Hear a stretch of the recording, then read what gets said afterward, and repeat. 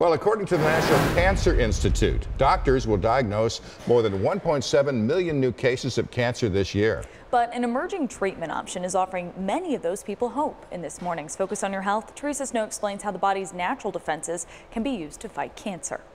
Focus on Your Health is sponsored by MU Healthcare.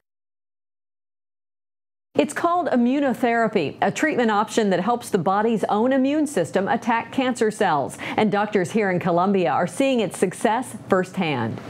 Ruth Wright uses poetry to show her appreciation to her doctor.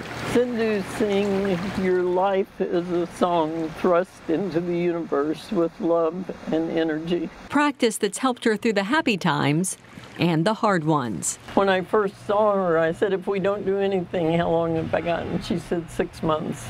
In 2017, Ruth learned her breast cancer had spread to her lungs, lymph nodes, and brain. The 76 year old insisted she did not want chemotherapy or radiation. And the people that I'd seen who were undergoing chemotherapy and stuff were not enjoying their lives. So Dr. Sindhu Singh, an oncologist with University of Missouri Healthcare, tried something else, immunotherapy. So immune therapy does not attack cancer by itself. It primes your own immune system to fight cancer. Every three weeks, Ruth comes to Ellis Fischel Cancer Center for an infusion of an immunotherapy drug known as a checkpoint inhibitor. Some cancer cells are able to step on an immune cell brake called a checkpoint, stopping the immune system from attacking. Checkpoint inhibitors release the brake, allowing the immune system to swing back into action. Ruth's only side effect has been some tiredness, and over the past year, her tumors have virtually disappeared.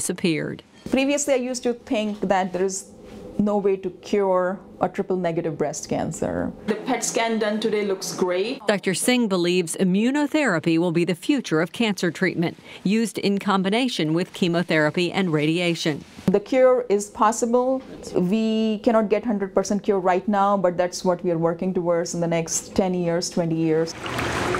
For Ruth, immunotherapy was the right decision. It's been more than a year now since doctors gave her just months to live. This is the day that I've gotten, and I'm going to enjoy it.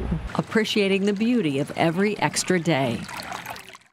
Joining me now is Dr. Sindhu Singh, an oncologist here at MU Healthcare. And tell me a little bit about what you learned from Ruth. She had some pretty clear ideas about the quality of life she wanted. What I learned was it's extremely important to honor a patients' wishes. She absolutely did not want any chemotherapy or radiation.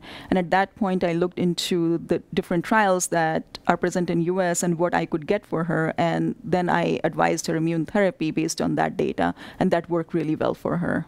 Is immunotherapy for the few or is it being widely widely used now? Now the use is ever expanding. We are using it in lung cancers, colon cancers, kidney cancers, bladder cancer, and the indications are expanding.